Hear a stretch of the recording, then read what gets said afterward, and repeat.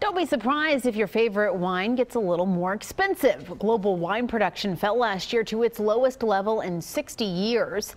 Analysts say producers, dealers, and retailers will absorb some of the cost, but you will also have to pay a little more, especially for cheaper bottles of wine. That's because experts say some lower quality wines will get blended into slightly more expensive bottles.